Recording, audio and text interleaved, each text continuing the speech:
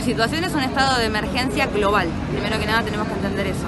Y lo que estamos reclamando no es un reclamo a un gobierno en particular, sino que es un despertar de darnos cuenta que estamos atrapados en un modelo, un sistema de producción y consumo en el que nos está llevando inevitablemente a un colapso climático.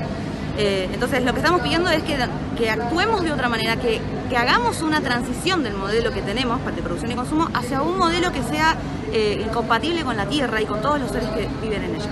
Estamos atravesando un contexto de, de pandemia que, bueno, que es mundial y que acá en Argentina golpea fuerte. ¿Cómo se decide salir a movilizarse teniendo en cuenta ¿no? esas situaciones, que, que por ahí se recomienda quedarse en casa, mantenerse alejados y esa clase de cosas? Bueno, eso fue una decisión totalmente personal de cada uno y está muy bien que las personas que se hayan quedado en su casa y también se activen de manera virtual, pero también entendemos que es necesaria la presión en la calle, porque cada vez que hacemos las presiones únicamente desde lo virtual no se nos escuchan. Entonces es algo que directamente ya el sistema nos obliga a tener que poner el cuerpo en la calle. Yo sinceramente prefería estar en mi casa y no estar ni exponiéndote ni a vos ni a mí, pero la verdad que el estado de emergencia en el que se encuentra globo es necesario mi cuerpo hoy en día acá y poder estar en esta lucha.